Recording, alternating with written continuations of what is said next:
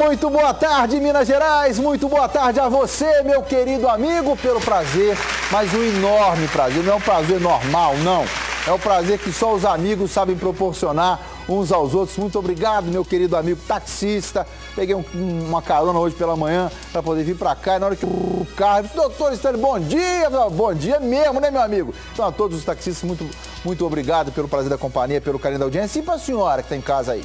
Muito obrigado. Você acha que eu vou esquecer? Vou não. Do zap que eu recebo toda hora, do pessoal lá no Instagram mandando abraço pra gente, dizendo o quanto a gente é importante para vocês. Vocês são os bandos de mentirosos, que é importante para vocês. Somos nós, nós é que somos importantes aí. Você que é importante aqui, aliás. Né? Muito obrigado, mas de coração, sabe por quê?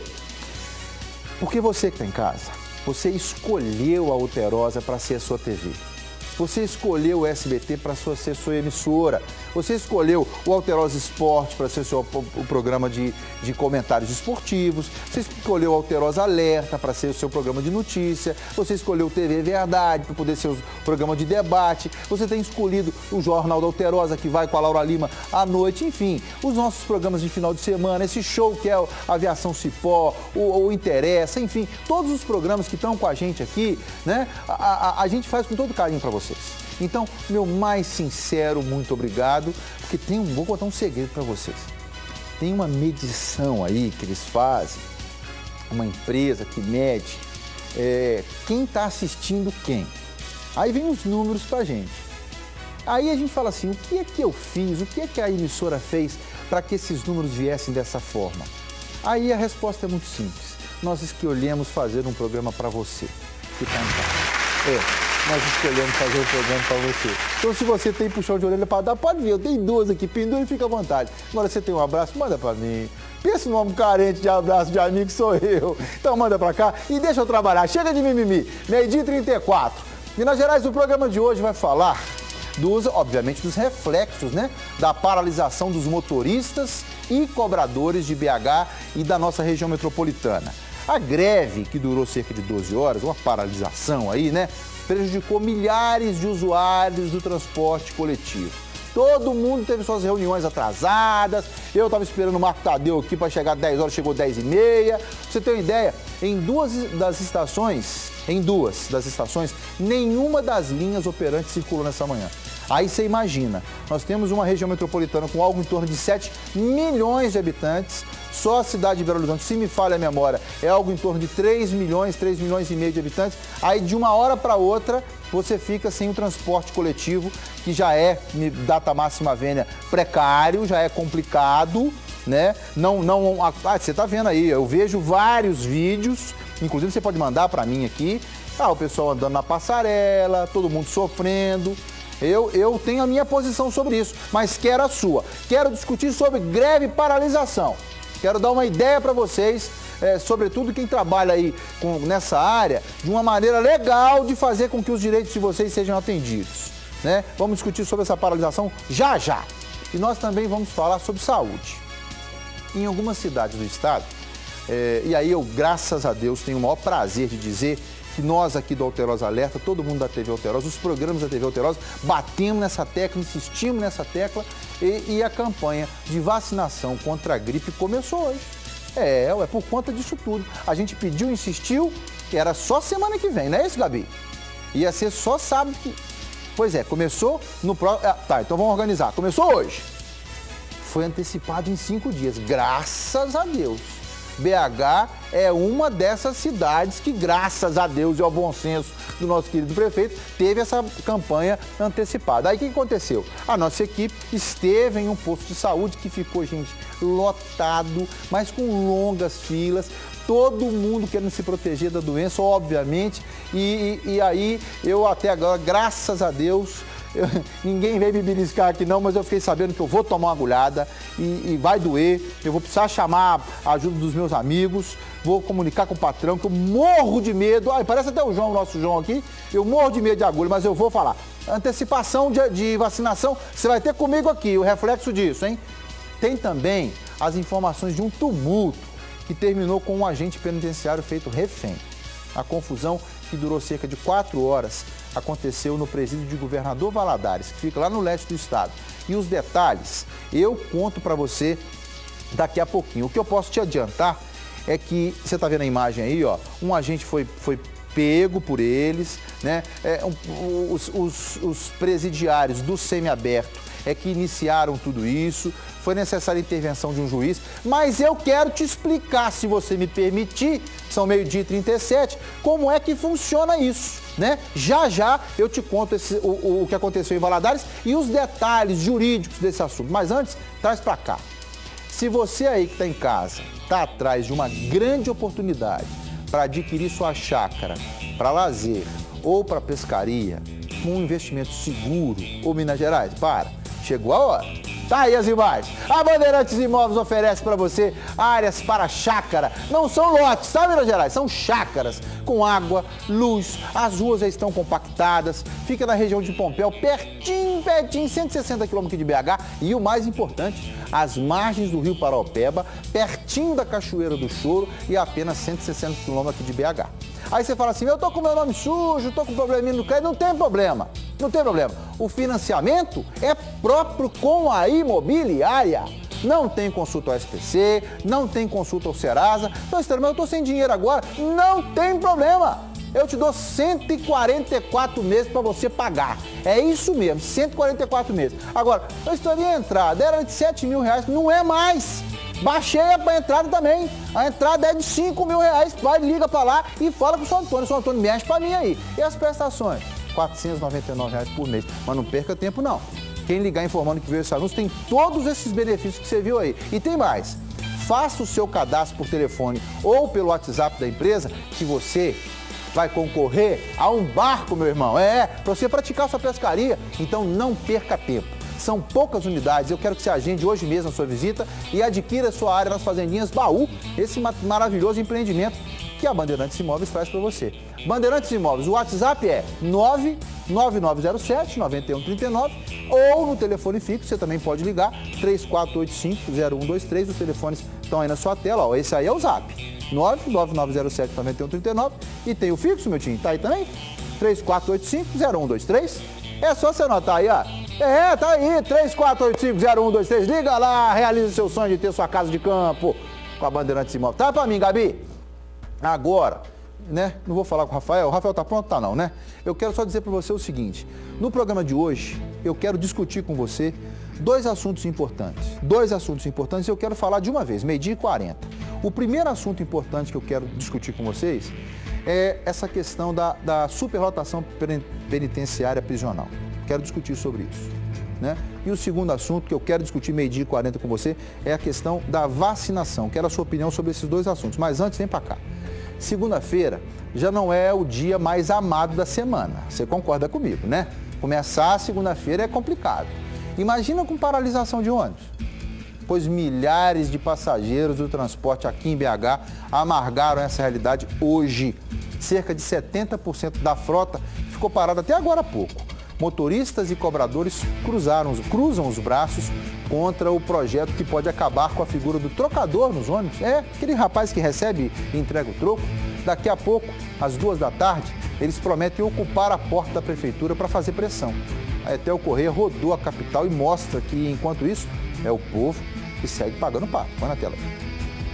Aqui na estação Diamante, a paralisação é total. Olha só, tudo parado, vazio, nenhum ônibus saiu daqui desde a madrugada. A gente vai tentar conversar com os trabalhadores aqui para ver qual que é a situação, o que, que eles estão querendo. Nós queremos manter nosso emprego, ou seja, devido a esse projeto de lei do vereador Altair Gomes, do PSC, é que em 24 horas foi votado e está hoje com prefeito Márcio Lacerda para ser sancionado, exatamente. Eu sou cobrador, eu sou arrimo de família, sustento a casa, assim como a maioria das minhas companheiras. É, nós queremos trabalhar, é claro, e nós não queremos fazer o papel de malandragem, ficar sem trabalho, igual nós vivenciamos dentro do carro, né? Malandro entrando, roubando, assaltando, alegando que não tem condições. E aí eles estão querendo fazer isso conosco. Sem cobrador não dá não tem condições de rodar sem o cobrador. Esta cuidadora de idosos foi pega de surpresa quando voltava do trabalho.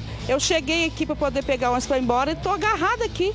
Nossa, tá aí desde madrugada. É, esperando o ônibus. Stanley, essa situação então dos moradores da região do Barreiro e daqui do bairro Diamante. Muita gente que veio à estação, saiu de casa cedo, parou no meio do caminho, pontos de ônibus cheios e muita gente que não consegue chegar, nem voltar para casa como essa senhora e nem chegar ao seu destino, ao seu trabalho. Tudo por conta da paralisação dos cobradores e motoristas que estão lutando para manter os empregos. E você está esperando qual ônibus? O 30. Vem da onde? Do Milionário. Ele veio do, da estação Diamante. Não tá passando. Tá, não. Agora vai continuar esperando ou vai embora? Ai, vou embora. Liguei pra minha carregada, né? Vou ver se ela entende, né? Porque difícil sair de casa, eu saí. Aqui, ó. Tô com o meu aqui de trabalhar. Fazer o quê, né? Eu tô indo pro centro. Qual linha você vai pegar? Vou pegar táxi. Vou daqui até no centro, vou gastar o quê? Pelo menos uns 40, 50 reais com táxi, né? Na estação Barreiro, motoristas e cobradores também se concentraram do lado de fora, vigiados de perto pela polícia. Os ônibus não circularam, os passageiros reclamaram. Muitos tiveram que andar a pé para conseguir um transporte, mas eles apoiaram a paralisação. O motorista de tomar conta do trânsito, dirigir e dar troco, fica um pouco complicado, né? Fica complicado. É justo, então? É, é em certo ponto é, é justo, né? Além de tirar emprego, um bocado de trocador aí, né? A favor do trabalhador, é lógico. Também sou trabalhador. Concordo com a greve, concordo porque é o seguinte, que é a única maneira de nós conquistar os nossos direitos, entendeu? Segundo a BH Trans, nas regiões de Venda Nova, Pampulha e São Gabriel, as estações funcionaram com mais de 70% da capacidade. Com a paralisação parcial das linhas, o trânsito ficou mais carregado. Muita gente tirou o carro de casa com medo de não conseguir chegar ao destino. Nas estações do metrô, o movimento também foi maior que em dias normais. Eu, eu, eu peço licença à senhora que está em casa, o senhor que está em casa, para poder falar é, com, com um pouco mais de tecnicidade, explicar mais de forma mais jurídica o que está acontecendo. A minha curiosidade era perguntar à Sua Excelência, o, o, vereador que, que fez a lei e a Câmara que aprovou, é qual que é a mens legis? Qual que é o objetivo da lei? Qual que é a, a mentalidade da lei? O que, que se pretende com essa lei de extinção do cargo de cobrador? Quem é o beneficiário, partindo do pressuposto que toda lei tem um beneficiário final, ou busca coibir ou obrigar alguém a fazer alguma coisa? Porque a lei diz ninguém é obrigado a fazer ou deixar de fazer nada, senão em virtude de lei. Então, qual é o objetivo dessa lei? Porque se o objetivo for, aspas, só tirar, extinguir o cargo de cobrador, eu não vou me meter nessa discussão. Eu não. Apesar de eu achar que essa função ela não é necessária, não. Ela é indispensável. Uma coisa é ser necessária. Você pode até ficar sem, mas indispensável você não fica sem. Para mim ela é indispensável. Agora, qual foi o objetivo dos senhores? O que está escrito lá na lei? Quem se beneficia disso? O povo eu tenho certeza que não é. O motorista, por 300 reais a mais no, no que ele ganha, também eu tenho certeza que não é. Porque o que a gente tem visto aqui, eu vou colocar. Se passar essa lei, se sancionar, eu vou colocar meus repórteres na rua para andar de ônibus e dar o troco para poder mostrar a dificuldade que é. Vocês me desculpem, senhores vereadores, eu respeito muito a atividade de vocês, mas eu acho que vocês deveriam preocupar primeiro é com o usuário do serviço público, porque esse transporte aí é público, é uma coisa pública, é uma res pública. Agora eu quero falar com o Rafael Martins, que ele está na Praça da Estação. Ô Rafa, boa tarde. Como é que está a situação aí nos pontos de ônibus da estação do metrô? É onde você está, né, irmão? Olá, muito boa tarde para você, Stanley. Boa tarde a todos que almoçam ligados no nosso Alterosa Alerta. Ô, Rafa, eu perguntei errado, desculpa. É na ah. estação e no... Me explica aí, como é que tá a situação aí do pessoal que está precisando ir e voltar para algum lugar? Exatamente, Stanley. Aqui a gente está na Praça da Estação, no hipercentro da cidade. A gente observa, vou pedir para o Anderson mostrar aqui para gente derivar a câmera, olha, você observa que tem alguns pontos de ônibus cheios de passageiros, né? Esse que está aqui bem pertinho da gente é um ponto que tem muitos passageiros. A gente observa o trânsito normal de ônibus. Nesse momento aqui agora está tranquilo, né? O, o sinal está fechado aqui, então a gente não vê a presença de ônibus. Mas eu tenho observado aqui, desde nós chegamos à Praça da Estação, a movimentação de ônibus é normal. Todos os ônibus de todas as linhas estão passando aqui. Nessa paralisação terminou ao meio-dia. E eu observo também, Stanley, que a movimentação no metrô, que está bem pertinho da gente aqui, a chegada e a saída de passageiros também está transcorrendo de forma normal, viu? Valeu, Rafa. Então, muito obrigado pela informação. E a prioridade é sua, tá? Qualquer coisa você tá aí na rua, você me chama aqui. Beleza. Valeu, vamos lá. Ô, Minas Gerais, muita gente madrugou hoje aqui na capital para garantir a vacina contra a gripe. A campanha que começaria somente no próximo sábado, com as bênçãos de Deus, foi antecipada depois que três casos, é três, de H1N1 foram registrados na cidade. O mais recente é o de um bebê de apenas 10 meses. A expectativa da Secretaria de Saúde é que até o dia 20 de maio, quase 700 mil pessoas, 700 mil pessoas do grupo de risco sejam imunizadas aqui em BH, né? Então vamos acompanhar comigo, quero a sua participação. Põe na tela, Gabi.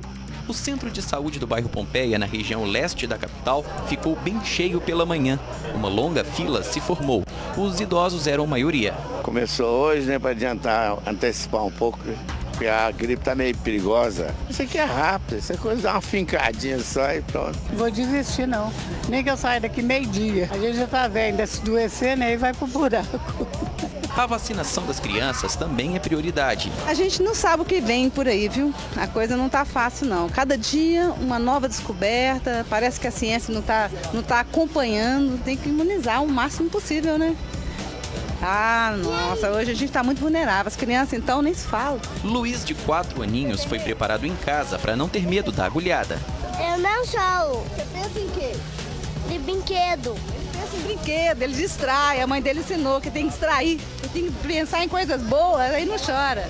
Já Edson tem medo de injeção, mas pela saúde disse fazer o sacrifício. Minha mulher tem que vir pegar na minha mão e ficar me segurando. Como ela tinha que trabalhar, rapaz, ela me deu uma injeção de ano lá, não, vai lá, tem que vacinar. Aí eu tomei coragem e vim. Mas é, eu, eu, eu tenho medo de agulha, vale a pena, né? A vacinação em Belo Horizonte foi antecipada em cinco dias. A expectativa da Secretaria de Saúde é imunizar 669 mil pessoas de um grupo considerado prioritário até o dia 20 de maio. A campanha está começando hoje em todos os 148 centros de saúde da Prefeitura de Belo Horizonte e o público-alvo é crianças a partir de seis meses até cinco anos incompletos.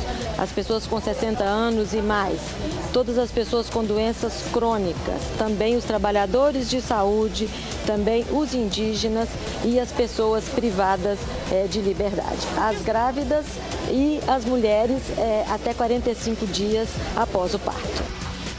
Aí você vê o sorriso da mãezinha saindo com o bebê no colo, toda sorridente, toda feliz, porque agora tem o seu filho imunizado contra essa gripe H1N1. É, é, é só isso que a gente quer. Eu pedi, graças a Deus, tenho certeza que os outros colegas de trabalho também pediram essa antecipação. Aí agora eu vou um pouco mais. Primeiro vou bater palma, vamos bater palma, Tiagão, para a prefeitura por ter antecipado. Parabéns por ter antecipado. O bom senso predominou, prevaleceu. Não sei se foi problema de logística, mas eu queria fazer um pedido. É, terminada essa campanha, vamos, vamos deixar as vacinas disponíveis, né? Um lotezinho aqui, outro lotezinho acolá, para que a gente possa não fazer isso de forma pontual. A propósito, Gabriela Camargo, vamos começar a fazer a nossa pauta aqui e vamos começar a pautar a concorrência. É, os reservatórios de água, daqui a pouquinho começa a, a, a, as campanhas para economizar água. Então, hoje, que dia que é hoje, Gabi?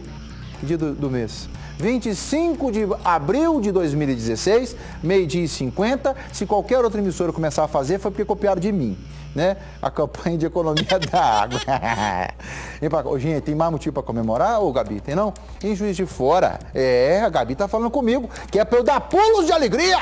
É para eu dar pulos de alegria porque a minha querida Zona da Mata, Juiz de Fora, a campanha de vacinação também começou hoje. A meta é imunizar mais de 130 mil pessoas. Deixa eu ver, meu Juiz de Fora. Saudade que eu tô de lá. Põe na tela para mim, Gabi.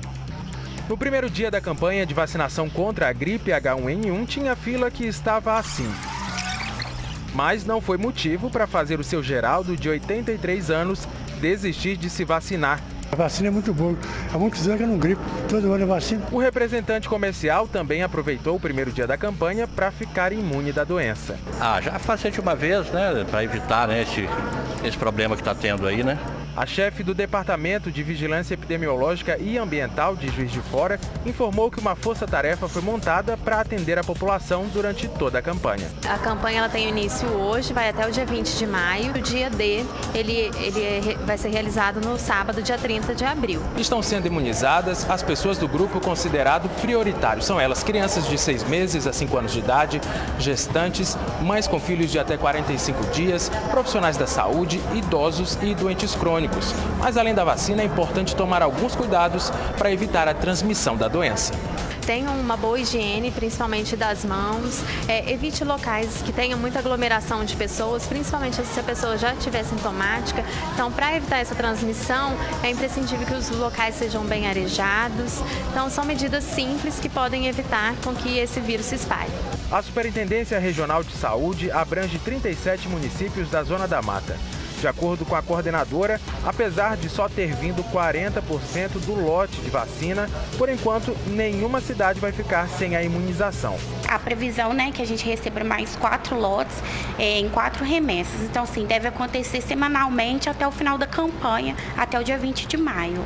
Pode ser que haja filas, mas não desabastecimento. Na zona da Mata Mineira, o objetivo é que a imunização alcance cerca de 205 mil pessoas. Como a dona Luci, que não pensa duas vezes vezes na hora de cuidar da saúde. Vale a pena vir aqui enfrentar a fila? Valeu, graças a Deus.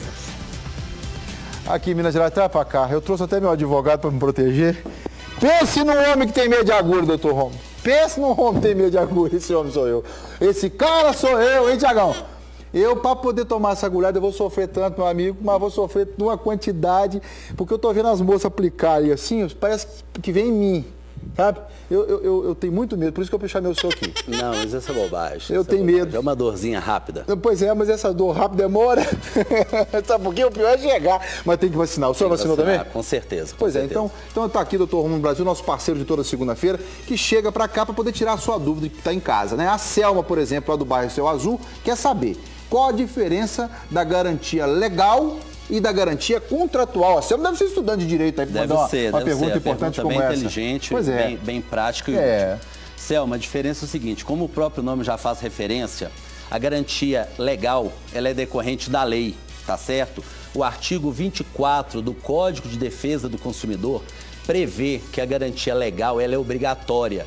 Não pode o fabricante do produto ou o comerciante, o proprietário da loja, abrir mão, é, liberar, se desobrigar dessa garantia. A garantia legal, normalmente, ela é, vem precedendo a outra modalidade que é a garantia contratual. A garantia legal, só a título de informação, ela funciona dentro de um prazo de 90 dias para bens duráveis e 30 dias para bens não duráveis, tá certo? Então é a garantia legal em decorrência da lei. A garantia contratual, como o próprio nome também faz referência, é a garantia que precisa de um comprovante, precisa daquele termo de garantia, aquele certificado. Ela é complementar, ela é uma faculdade. Ela se inicia após os 30 dias ou os 90 dias da garantia é, obrigatória da garantia legal. No caso da garantia legal, não tem necessidade daquele certificado, não é exigência, basta a nota fiscal para que possamos conferir, averiguar a data que você comprou o produto ou a data que você recebeu o produto. No caso da garantia contratual, aí nós precisamos sim daquele termo para, para verificar os termos, as condições da garantia, como prazo, como custo, se você leva o produto à loja, se você envia, etc. Pois é, o Tiago, agora lá da Pampulha, pergunta: Eu estou acompanhando na televisão uma polêmica sobre a decisão das operadoras de internet fixa reduzirem a velocidade ou suspender o fornecimento após o usuário extrapolar o limite de dados previsto no pacote. Isso está valendo hoje? Hoje está valendo? Pois é, não, não está valendo. Na verdade, a Anatel se manifestou na segunda-feira passada é, impondo uma condição para as operadoras que elas fornecessem uma ferramenta para que o consumidor conseguisse verificar, fiscalizar o seu consumo de dados. Após o fornecimento dessa ferramenta, as operadoras, 90 dias depois, poderia cobrar sim. Só que a opinião pública chegou e caiu de cima. Sim. E com muita razão. E a Anatel, de certa forma, voltou atrás, revogou aquela condição, aquela decisão de dar uma condição para as operadoras e cancelou proibiu, não existe mais condição. Hoje, as operadoras não podem suspender o seu serviço, cobrar adicionalmente e nem reduzir a velocidade do seu pacote de dados. Isso aí. Você tem mais dúvida? Fala comigo aqui que eu encaminho para o chefe. Chefe, muito, muito obrigado. obrigado. mais uma vez. É um Parabéns prazer. pelas grandes informações que o senhor presta para nós aqui. Eu que agradeço. Uma boa tarde. Obrigado, doutor Romo. Vamos lá. Gente, o, o, poder público está brincando com a saúde das pessoas. Na semana passada, mostramos que o lixo está acumulado na unidade de recebimentos de pequenos volumes da Prefeitura de BH, que fica na região do Barreiro. Alunos de uma escola ao lado estão pegando dengue. Hoje nós voltamos lá e adivinhe, nada mudou. Aliás, mudou sim.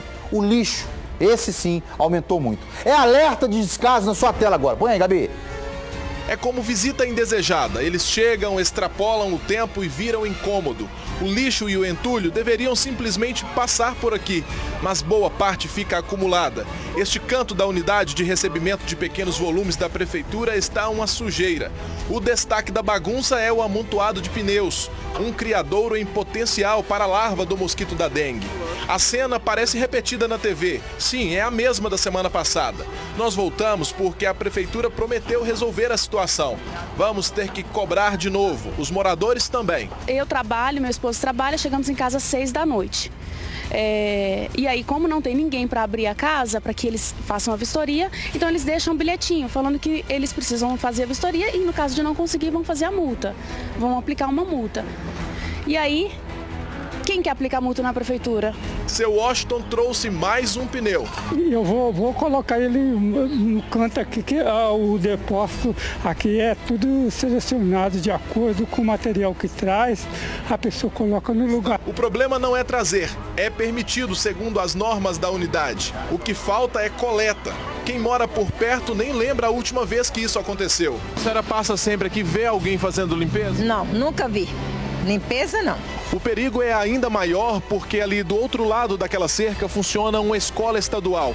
E os pais dos estudantes estão bastante preocupados. Eles dizem que muitos alunos já tiveram dengue. O filho da dona Maria do Carmo está com a doença. Agora a criança fora da aula, né? Fora da escola. Porque não tem como mandar ele para a escola com dor no corpo. Isso é crítico, não tem condições isso não. Um bota fora perto de uma comunidade pede escola, posto, não existe isso não. A unidade de recebimento de pequenos volumes fica no Barreiro, a região com mais casos de dengue em Belo Horizonte. Até agora são cerca de 13 mil registros. O pobre é você põe uma doença dessa, onde é que você vai? Nós que é pobre, vai no posto de saúde, né? No posto de saúde não tem jeito. A Superintendência de Limpeza Urbana informa que hoje vai retirar os materiais acumulados no fim de semana, inclusive os pneus. Parabéns para vocês! Eu quase que agradeço por essa gentileza que vocês fazem, que eu sei que realmente é um, um, um gesto magnânimo, é um gesto de muito altruísmo, de muito altruísmo, de muita solidariedade. Não fosse o fato de que isso é uma obrigação de vocês. Agora, dizer lá que tem que dizer aí, ó, que o pessoal não pode julgar ali. Esse galão não foi parar aí sozinho, né, Minas Gerais? Então o povo tem que ter um pouquinho de juízo também. Como é que faz, né? Como é que funciona, né? Tem que ter, tem que ter um bocadinho de juízo. Aqui, Minas Gerais, eu vou para um rápido intervalo, eu volto, mas volto com uma notícia inusitada, né? Sabe aquela série de roubos inusitados? Pois é, a bandidagem não perdoando nada, tá roubando direto, café, direto no pé. Você acredita nisso? Daqui a pouco eu te conto.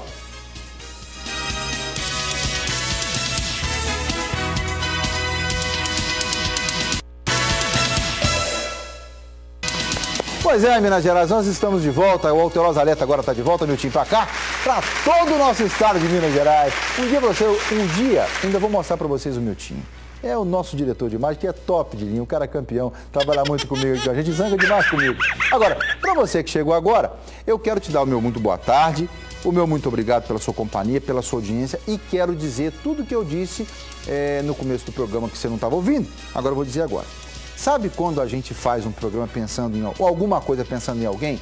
Pois é, a gente faz pensando em você. Eu estava lendo uma reportagem de um colunista de um jornal aí fora do, de Minas Gerais, e ele dizia que esses programas de televisão, de TV aberta, como é o nosso caso, ele tem um diferencial. Não são os estudos ou a tecnologia que faz a diferença. O que faz a diferença é a empatia, é a simpatia que o público, o telespectador tem com o apresentador, com o conteúdo que ele apresenta, com a direção que é feita por, por ele, para ele. Então, é, eu posso dizer para vocês que vocês, todo o estado das Minas Gerais, lá do norte de Minas até o sul de Minas, passando por todas as cidades, escolheram a TV Alterosa. Por isso que o nosso bordão é a TV que o mineiro vê. A TV Alterosa é a TV que o mineiro vê. Então, Minas Gerais, ó, hum, apertado, um abraço apertado, um suspiro dobrado e um aperto de mão em todos vocês. Obrigado pela companhia, porque é época, o Alterosa Alerta é feito para você. O Alterosa Esporte é feito para você, o Alerta é feito para você, o TV Verdade é feito para você, o Jornal Alterosa, tudo é feito para você. Então, já que tudo é feito para você, vocês estão com a bola toda com a gente aqui, não estão sabendo. Mas infelizmente, agora a gente vai falar de violência, né? Da violência sofrida por um, uma motorista aqui da capital é, no último final de semana. O que aconteceu? Ela estacionou o veículo em uma rua da região Centro-Sul e após se negar a pagar o valor pedido por um flanelinha que estava no local, ela foi agredida, gente. O agressor um idoso de 72 anos, ele foi preso em flagrante. Então você presta bem atenção no que você vai ver agora. A gente para, sai de casa para trabalhar, vai estacionar o carro, tem alguém que tem, nós temos a obrigação de pagar, além de todos os impostos, o flanelinha. Está na tela. A mulher foi socorrida para o Hospital João 23. A vítima estava com a filha de dois anos e uma afilhada de 11. A fisioterapeuta foi ferida com esta espátula durante uma briga com um flanelinha. Ela levou 20 pontos no braço. Tudo aconteceu aqui na rua Sergipe, quase na esquina com a Avenida Getúlio Vargas, na região da Savassi. A fisioterapeuta disse que estacionou o carro dela bem no recuo deste prédio, onde estavam tantos outros veículos, quando foi abordada por um idoso devidamente identificado com o crachá e o colete da prefeitura. A mulher contou que o homem exigiu o pagamento adiantado de cinco reais, mas ela negou. Falou para ele que pagaria na volta, porque não ia demorar, e apenas dar um abraço numa amiga que estava comemorando o aniversário ali num bar. Nessa hora, o flanelinha ficou irritado e a confusão começou. Aí ele falou comigo que eu não ia, que se eu não pagasse, na hora que eu chegasse, os quatro pneus do meu carro estariam furados. Contou ainda que no meio do bate-boca, um motorista que estava saindo de uma vaga em frente ofereceu espaço a ela. Quando estava arrancando o carro para trocar de lugar, disse que o flanelinha começou a bater no veículo. Eu tomei um susto, foi quando eu olhei para trás e vi que ele que estava batendo, desci do carro e falei, o senhor é louco, por que, que o senhor está batendo assim? Eu tô com criança dentro do carro. Ele me deu o golpe e eu só vi no chão caindo gota no meu, no meu pé. De sangue. De sangue, que eu vi o meu braço e que alguém gritou, você foi esfaqueada. E aí ele começou a correr, aí eu gritei, eu fui esfaqueada. E aí as pessoas que estavam passando lá na hora, inclusive as que estavam sentadas no bar, já imobilizou esse senhor até a viatura chegar. Janine disse que nunca havia acontecido uma situação tão grave, mas conta que já foi coagida por outros flanelinhas. Isso não é um tributo, isso não é nada é, legal, né? Então é uma obrigatoriedade que a gente tem mediante não sofrer consequências piores. O seu carro está depredado, ou você ser machucada, ou perder a vida. Então nós nos sentimos acuados. Pois é, 1 e 7 aqui na capital dos mineiros e a frase que ela falou pelo final é exatamente é como eu me sinto. Né? E eu fui vítima duas vezes dos flanelinhas. Eu fui vítima. Primeiro no bairro de São Bento, deixei o carro, parei meu carro, entreguei pro cara. Posso tomar conta? Pode, companheiro. Olha aí que no final te dou um negocinho. Beleza, puro. Quando eu voltei, estava quebrado o vidro. Ele quebrou poder pegar uma, uma sacola de supermercado que não tinha nada dentro, mas quebrou meu vidro e foi embora. Né? E agora, há poucos dias, em frente à Assembleia ali, ó. Do mesmo jeito, eu vou tomar conta aqui, vou olhar para você. Aí a polícia vai, prende e, e, gasta combustível, porque é um caminhão que tem que levar. Um caminhão que usa para levar a flanelinha. No dia seguinte tá todo mundo de novo na rua, tá todo no máximo que acontece eles trocam de ponto. É igual a Gabriela falou, então, no máximo que acontece eles trocaram de ponto. Aí eu pergunto, fecha aqui. Em vez de vocês falarem é, de, de, acabar com a figura do trocador de ônibus lá, por que, que vocês não criam um dispositivo para extinguir então a função do flanelinha? Opa! Não é melhor? Porque o trocador de ônibus não dá facada em ninguém não, não dá estiletada em ninguém não. Agora, esse, esse aspas, senhor de 70, falando isso também demais, né? Mas é porque eu não quero chamar ele de senhor. Eu não quero chamar ele de senhor porque é vagabundo. Para mim, tentou homicídio. Que se esse estilete, em vez de pegar no braço, pega no pescoço dela, tinha matado a senhora. Por causa de um demônio desse aí que não quer. Ah lá, aí. Se pega no pescoço dela, tinha matado ela. Agora, o que, que esse monte de nada serve agora? 72 anos tem esse inútil, né? Esse nada. Se pega no pescoço da mulher, tinha matado ela. Então, eu, pra mim, não pode ser lesão corporal, não. Pra mim, tem que ser tentativa de homicídio. Só não consumou porque ele não conseguiu. Não, não se consumou por vontade alheia à vontade dele. Você paga o IPVA, você paga o seu é, certificado de licenciamento, você paga o seu seguro obrigatório e se você não pagar, seu nome vai para o SPC, para o Serasa e para o cartório. Seu nome vai. Nem eu sabia disso. Vai para o cartório o seu nome. Agora, além de tudo isso, você não tem estrada, você não tem rua, você não tem sinalização e quando você chega para poder parar seu carro, você ainda tem que gastar o dinheiro com um safado desse aí.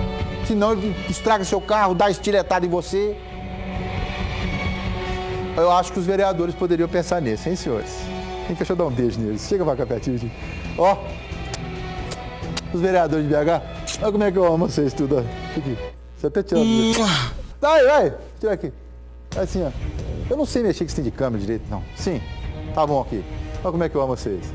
Vocês podiam pensar melhor no povo, hein? Oh, só tem bom. Cadê o Miltinho? O melhorzinho conserta relógio com luva de boxe no escuro lá. Os caras são ninja demais, meu velho. Vamos embora. Aqui, mais uma agência bancária de Uberlândia, no Triângulo Mineiro, foi alvo de criminosos. É a terceira vez, somente nesse mês, que bandidos explodem caixas de bancos da cidade. Dessa vez, eles fugiram sem levar nada e ainda estão sendo procurados pela polícia. Eu já falei, vocês colocam um dispositivo nessa bodega aí, senão não vão dar conta da notícia disso não. Põe na tela, Gabi. Desta vez, a explosão aconteceu nesta agência da Caixa Econômica Federal, que fica aqui na Avenida José Fonseca e Silva, no bairro Jardim Patrícia. Até o momento, a polícia não tem nenhuma informação sobre os autores. Mas a informação que tem é de que eles não conseguiram levar nenhum dinheiro, porque a explosão não chegou a atingir a gaveta do caixa eletrônico.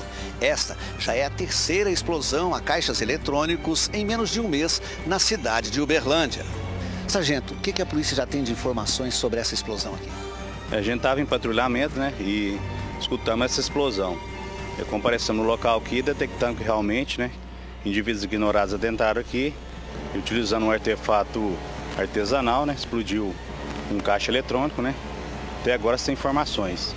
Quer dizer, ninguém é preso até o momento e tem alguma informação de testemunha, veículo usado, coisa dessa natureza? A gente verificou com várias pessoas aqui que tinha é, que estava aqui na, nas proximidades, até agora sem informação. A gente está tentando ver se consegue informação das filmagens, né? Da, da agência. Pois é, e eu vou ser sincero para o senhor, viu, o, o, comandante? Vou ser muito sincero para o senhor. O senhor vai pegar a, as imagens, aí eles vão estar tá tudo de touca ninja, ou vão estar tá de capacete, ou vão estar tá com aquela boininha que põe na cabeça, vão estar com boné. Identificar é difícil. Eu só queria dizer o seguinte: nós estamos hoje num desgoverno tão grande, mas tão grande, que tem até numa desgraça dessa aí, a gente tem certeza que tem alguém levando vantagem. Eu tenho certeza. Eu estava conversando com um grande amigo meu, Sou João. Sou João é, foi o primeiro, a primeira pessoa que me deu crédito aqui em BH depois da Maria. Maria está me assistindo agora também. Ele deixou eu morar fiado na casa dele aqui no bairro Esplanada. Sou João falava comigo assim, Stanley, sabe o que eles tinham que desenvolver? O dispositivo do susto. Só como é que é isso, Sr. João? Sim, é. É muito simples. Na hora que a máquina tomar um solavanco qualquer, na hora que a máquina tomar um arranco qualquer, ela dispara um líquido vermelho, roxo, o que for, em cima das, das, das notas e pronto, acabou.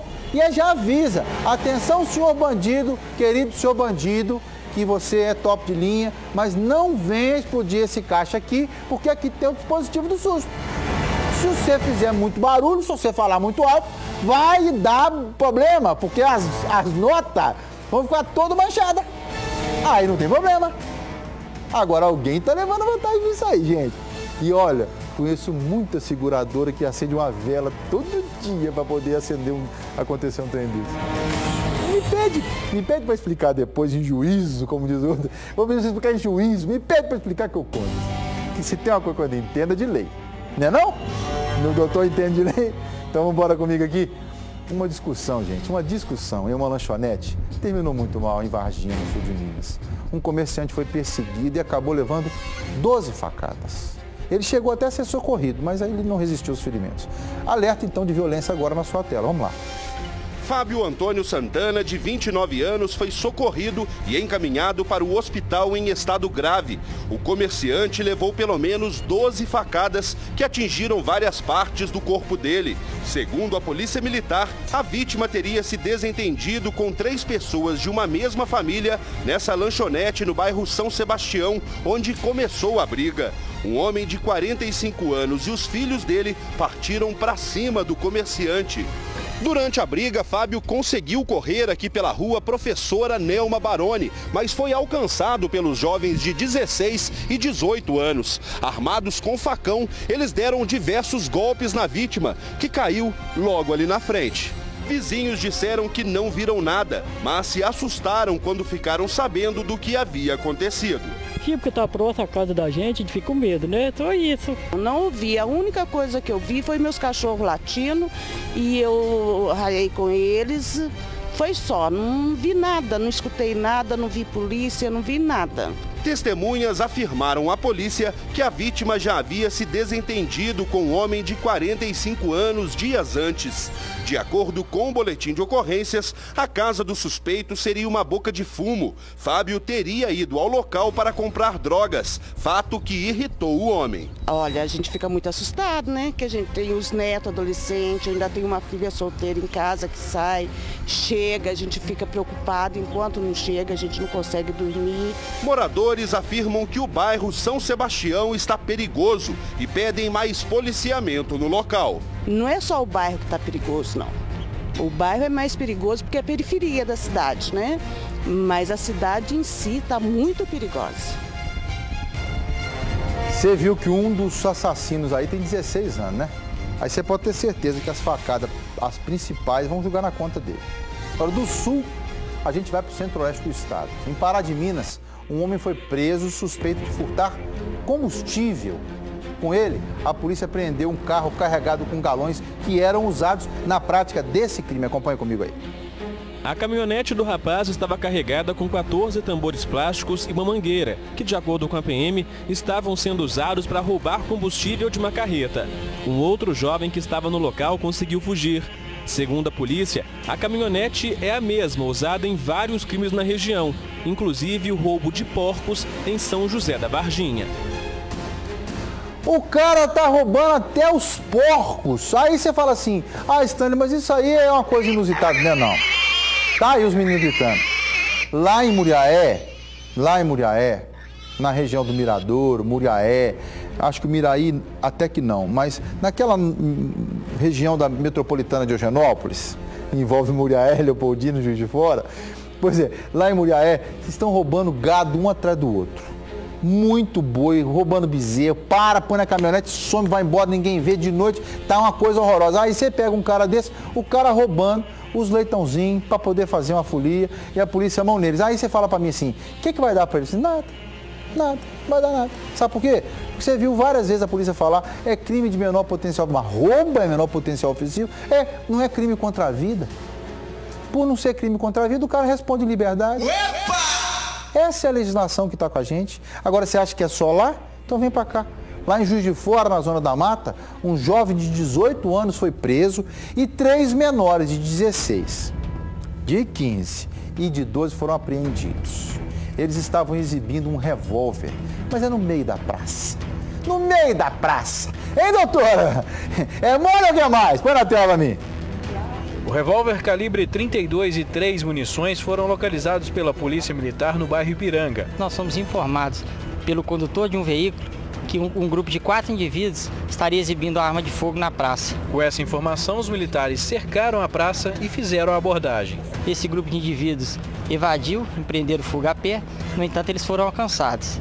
Todos eles foram submetidos à busca pessoal e, embora não tenha sido localizado nenhum material ilícito com eles, no trajeto que nós refizemos no, no, momento da fuga deles, nós logramos assim localizar uma arma de fogo, revólver calibre 32, carregado com três munições, o qual estava jogado sob um veículo estacionado em via pública.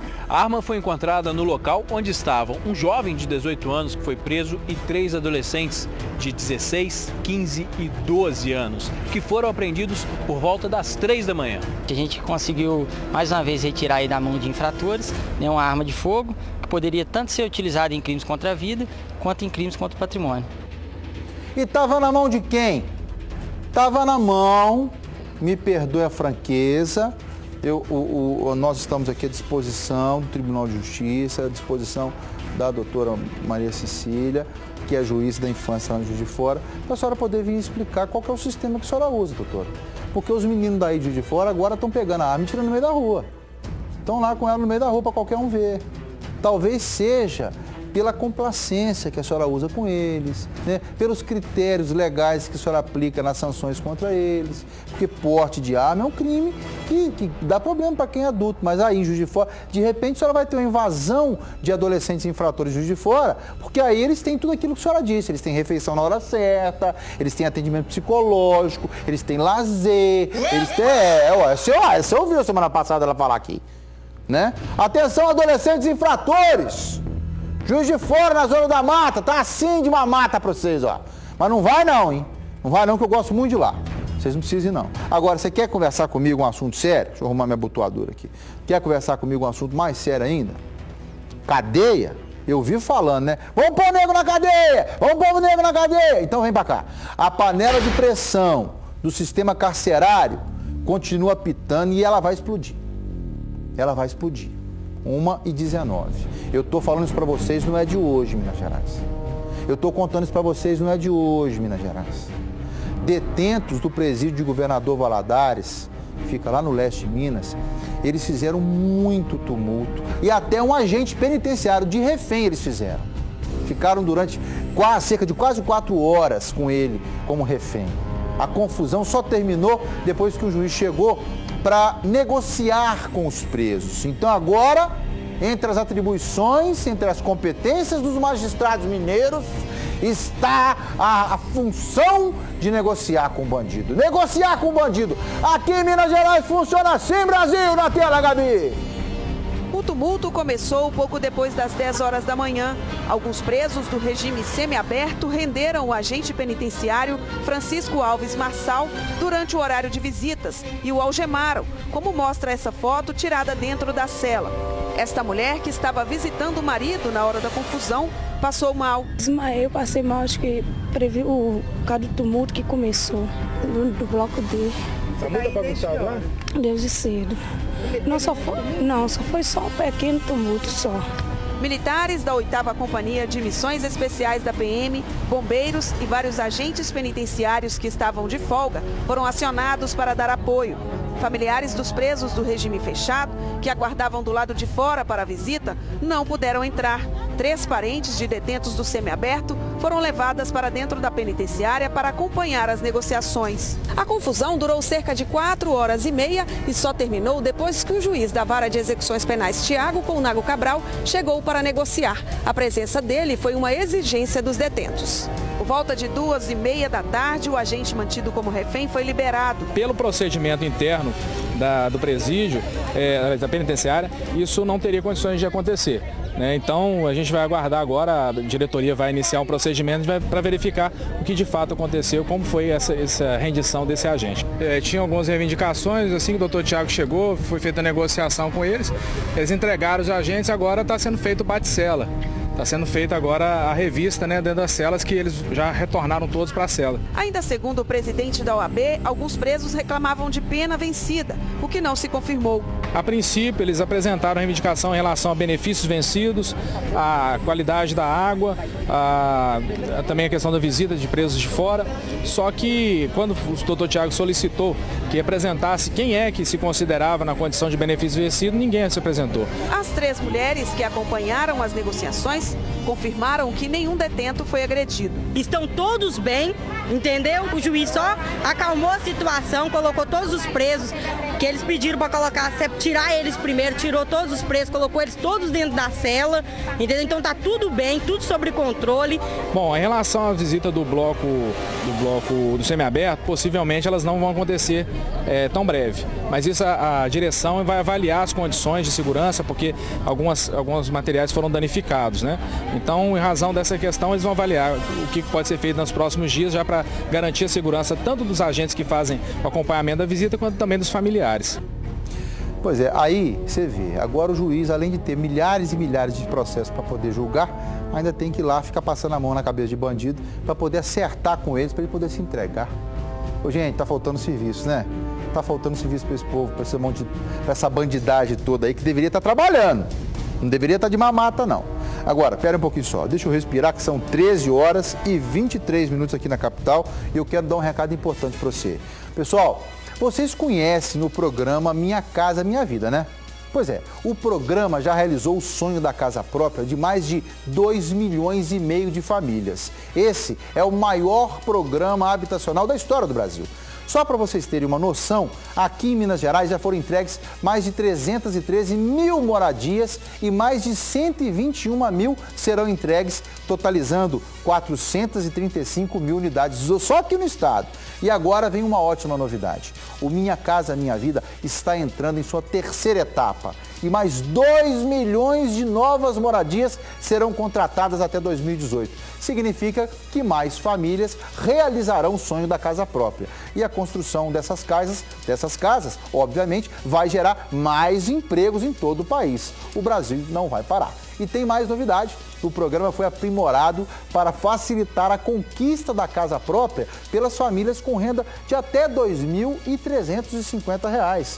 Para ter mais informações do programa e verificar as condições de financiamento para você que está em casa, acesse brasil.gov.br barra Brasil de Resultados. Faça sua, seu acesso lá e garanta, né? Vou repetir para você, www.brasil.gov.br barra Brasil de Resultados. Vá lá, acesse e verifique se você tem condição e realize o sonho da sua casa própria. Não perca essa oportunidade não, hein, gente?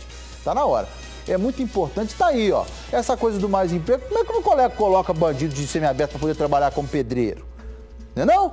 Eles ganham dinheirinho deles lá, em vez de nós ter, a gente tem que pagar para eles.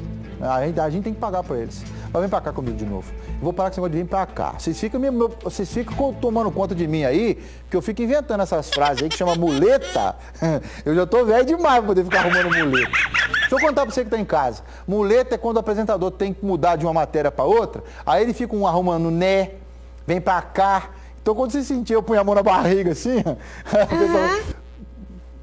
Deixa só eu falar. Eu sou gordinho, sou, não vou na academia. Demorou muito, hein, Thiago? 1326, Minas Gerais, vem pra cá comigo. Em tempo de crise, a bandidagem não perdoa nada nem ninguém.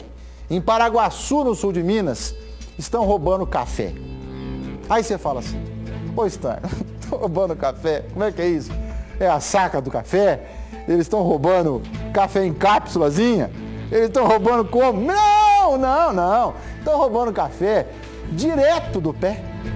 Os produtores estão amargando prejuízos com a ousadia dos ladrões e não, que não perdoaram nem a fazenda do prefeito da cidade. Quem vai contar essa história para gente? É uma história, né? É meu querido amigo Cadu Lopes. Ô Cadu, abre seu coração para mim, meu filho. Conta essa história direito.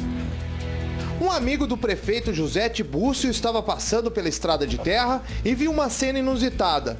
No meio do mato havia alguns sacos de café e os grãos estavam espalhados pelo local. Aí viemos em loco, constatamos o roubo, né?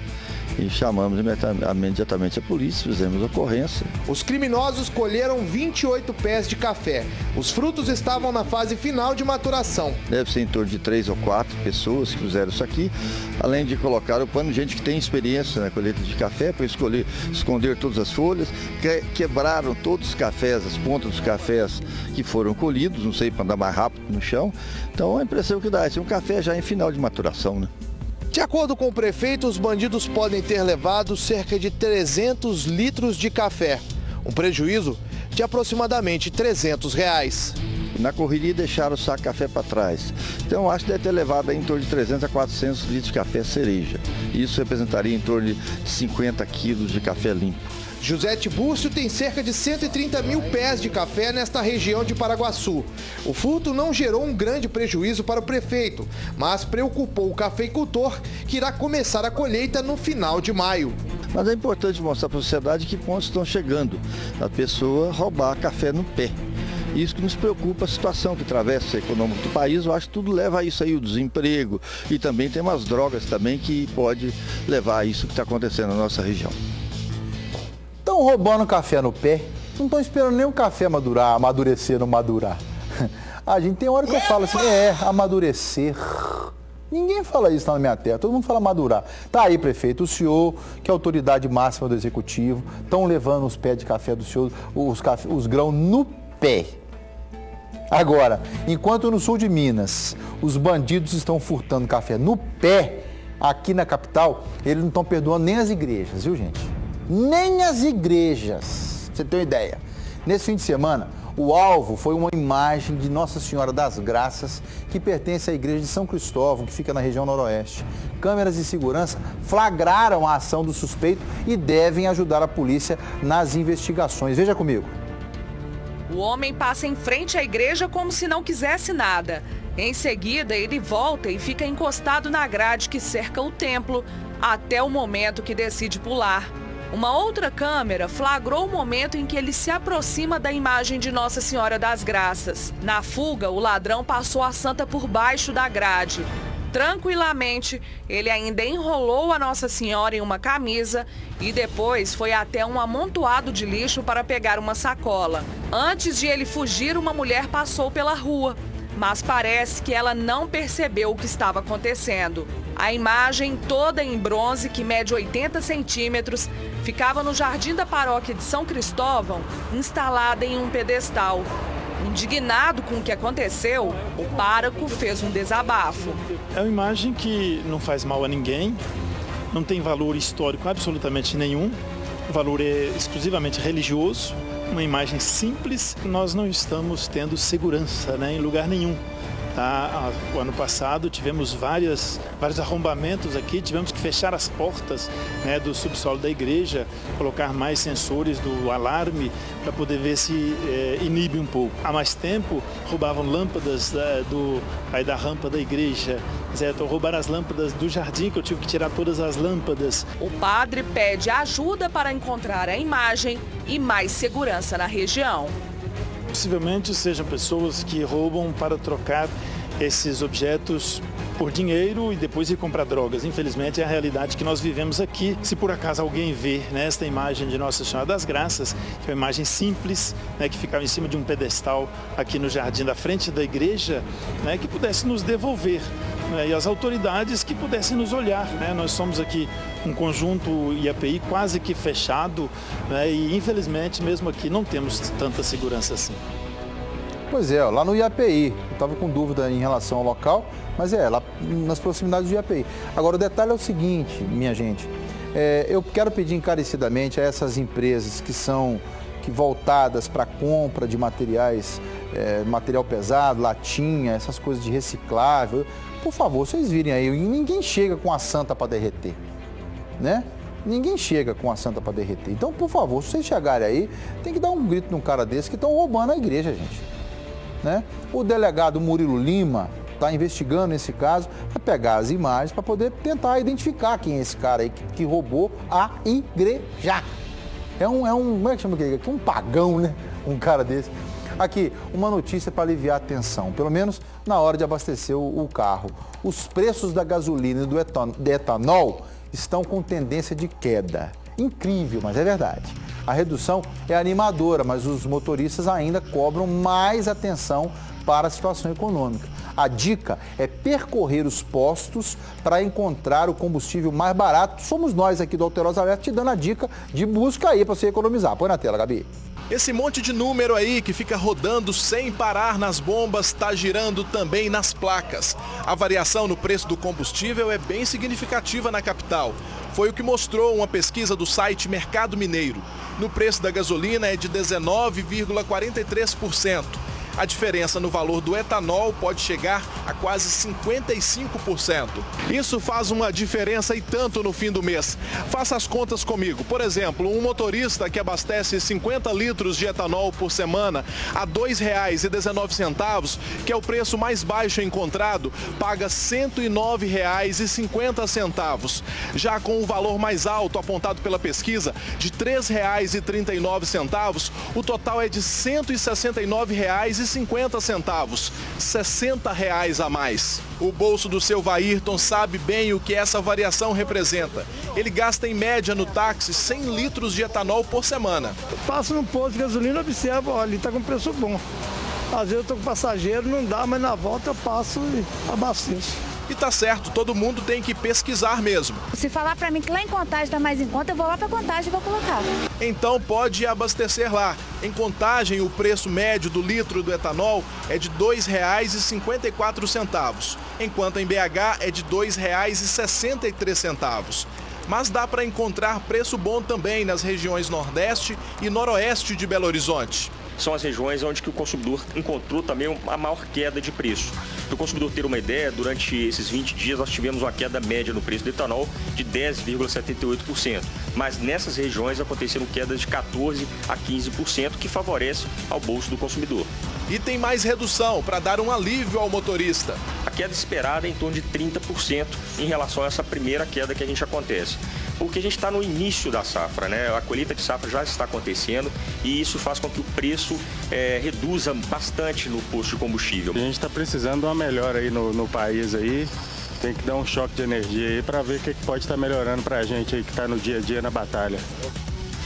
Pois é, meu amigo, ó, o preço da gasolina você pode até procurar o mais barato, mas o melhor colchão está aqui, ó. Gente, preste atenção, pois o meu recado é para você que está em casa aí uma quem sofre com câimbra, má circulação, varizes, dores nas pernas, dormência, ou para você que sofre com dores de coluna, dores musculares, dores lombares, você que acorda cansado todo dia, minha gente, olha só, é impressionante como o colchão oriental J2000 pode ajudar a melhorar a sua qualidade de vida agora né? Para ele pegar o telefone e ligar lá no 0800 038 2000. Somente ele possui diversas terapias comprovadas no Brasil e no exterior. São milhares, milhões de pessoas que são atendidas por esse colchão, que já foram atendidos e que estão totalmente satisfeitos com o resultado dele.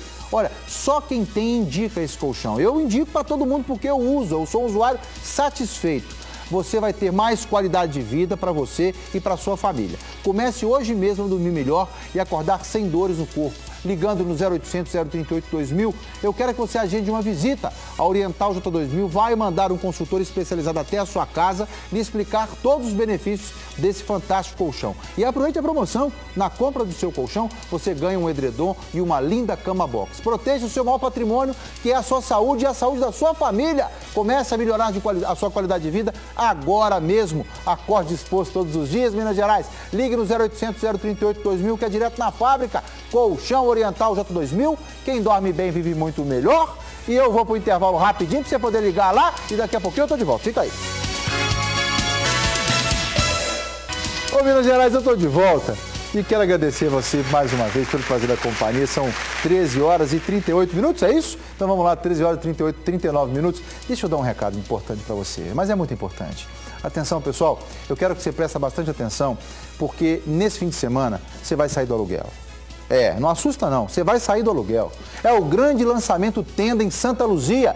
São apartamentos de dois quartos com 100% de vagas a poucos metros da Avenida Brasília, que fica na região do bairro São Benedito, meu querido São Benedito. Liga agora no 4003 4040 e vá até a loja Tenda. Nessa sexta e sábado, você vai comprar seu apartamento com parcelas a partir de 199 reais e subsídios de até 25 mil do programa Minha Casa Minha Vida. É isso mesmo que você ouviu, parcelas a partir de 199 reais. Ligue agora no 4003 4040 ou vá, como você preferir, até a loja tenda mais próxima de você. Nesse final de semana é o lançamento em Santa Luzia. Não perca. Agora é a hora de você sair do aluguel e morar no que é seu. Você vai ser dono da sua casa. Ligue agora no 4003 4040, vá até a loja tenda para você poder optar, fazer sua escolha. Está na hora de realizar o sonho da casa própria. Seu primeiro AP com parcelas a partir de 199 reais e subsídio de até R$ 25 mil do programa Minha Casa Minha Vida 3. Anota agora o telefone aí, minha amiga, meu amigo. 4003 4040. Ligue e vá até a loja Tenda, mas correndo. Não perca essa super chance Tenda. Construtora Tenda. Nosso negócio é construir felicidade. Essa aí, ó, 4003 4040. Eu dou parabéns para muita empresa bacana. Agora, essa, nosso é construir felicidade. Que bonito. Parabéns à tenda pelo trabalho dela aí e pela oportunidade que está dando para você de sair do aluguel, não é não? Aqui, estamos todos querendo mudar os rumos da política no país, não é mesmo? Mas ainda tem eleitor com alguma pendência e por isso os cartórios eleitorais estão atendendo também os finais de semana. A medida é para facilitar a vida de quem deixa tudo para depois, como eu, né? Pois é, o prazo para ficar em dia com a Justiça Eleitoral termina no dia 4 de maio. Quem não fizer isso vai ficar impedido de votar e também pode sofrer outras punições. Em Divinópolis, os eleitores aproveitaram esse fim de semana para poder colocar a ordem na casa e acertar as contas com a Justiça Eleitoral. Põe na tela aí, Gabi. Priscila aproveitou o cartório eleitoral aberto em pleno fim de semana para transferir o título e aprovou a facilidade. Ajuda porque no, nos dias de semana, geralmente você trabalha, né? E nos finais de semana você geralmente está em casa. Até o próximo dia 4 de maio, os cartórios eleitorais de Divinópolis estão funcionando aos finais de semana. Todos os serviços da Justiça Eleitoral poderão ser prestados no fim de semana, né? Mas esse prazo de 4 de maio, ele é especificamente para alistamento eleitoral, quem vai fazer o título pela primeira vez, quem tem o título cancelado por algum motivo e deseja regularizar a situação, quem precisa transferir o título de eleitor de uma outra cidade para Divinópolis, quem precisa mudar de sessão eleitoral ou quem precisa fazer uma revisão dos dados cadastrais. Quem não regularizar a situação até o fim do prazo vai ter o título cancelado e será impedido de votar nas eleições de outubro. De segunda a sexta-feira e também aos finais de semana, os cartórios ficam abertos de meio-dia às seis da tarde. Mas nos dias 2, 3 e 4 de maio, os atendimentos começam mais cedo, às 8 da manhã. Tudo para que ninguém tenha desculpa para continuar com problemas com a Justiça Eleitoral. A orientação do Tribunal Regional Eleitoral é que as pessoas aproveitem os horários ampliados de atendimento e evitem a correria prevista para os últimos dias. Sem tempo para ir ao cartório durante a semana, o atendimento em pleno sábado facilitou a vida do Vander, que em poucos minutos regularizou a situação junto à Justiça Eleitoral. Para mim foi bem melhor, né? Porque eu trabalho de segunda a sexta, tudo, então já melhorou bem. Pois é, né, gente? É, é, essa questão da tecnologia é muito importante, é muito bacana, mas eu acho legal se puder sair aquele papelzinho no final para poder conferir o que eu votei, né? Que, lá na, lá na, tem um ditado na minha terra que fala que o defunto, quando acha quem carrega, chega até a balançar. E falar em balançar, não pode falar de balanço, não, vem pra cá. Ô, Gabriela, o pessoal quer conversar comigo aqui, põe na tela aqui, por favor. Ô, Minas Gerais está aqui, ó. Alterosa Alerta no Facebook. Eu quero agradecer muito a vocês, porque cada dia que passa só tem aumentado mais curtida. O pessoal chega lá, deixa a dica. Ó, nós vamos atender uma amiga nossa aí que estava com problema de poda de árvore e que chegou pelo Alterosa Alerta, que é a Jo Amaral. Não é não? Então você tem alguma demanda, manda para mim aqui, ó, Facebook, barra Alterosa Alerta. E se você quiser assistir o programa todo, é aqui no YouTube. Tá acabando meu programa. Amanhã cedo, 7 horas da manhã, eu tô aqui de volta, com todo carinho, todo prazer, com toda emoção para você. Minas Gerais, obrigado. Vocês me colocaram no lugar onde eu esperava chegar com... Enfim, estou muito emocionado. Obrigado. Tchau, tchau.